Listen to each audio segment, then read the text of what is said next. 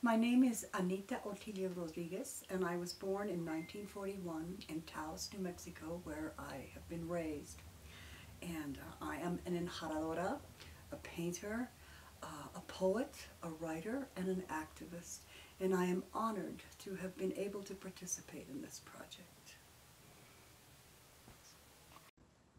Hi, my name is Jessica Kukoska, and I work predominantly in theater as a writer and researcher dramaturg. I grew up in Colorado Springs, so a lot of my first encounters with art in a museum context and the performing arts and theater were actually at the Colorado Springs Fine Arts Center. I also participated in quite a few youth repertory theater company shows in the early 2000s.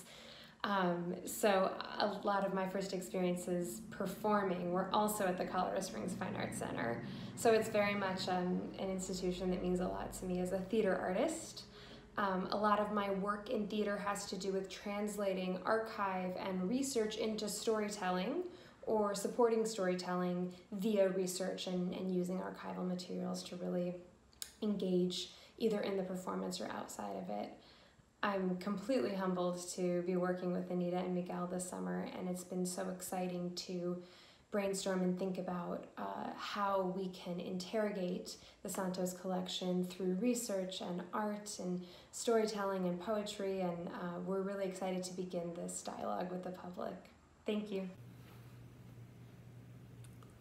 My name is Miguel Gandert. I'm an artist, photographer, filmmaker, and for close to 40 years I have been working on studying the culture of the Indo-Hispano people of the northern Rio Grande corridor and Mexico.